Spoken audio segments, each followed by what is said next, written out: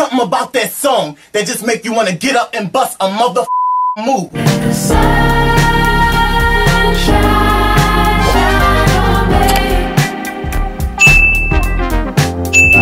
Hey everyone, it's Kewe. Welcome or welcome back to my channel. In today's video, you'll be watching my mom cut her locs off after 10 years. My parents started their lock journey together and ended it together. And if it's one thing about my mom, she don't chop her hair off at any given moment except for when she had her locs for 10 years, of course, but you get the point. I'll be talking here and there, but I want y'all to get this experience, how we got this experience. So thank you for clicking on this video, and I hope you enjoy.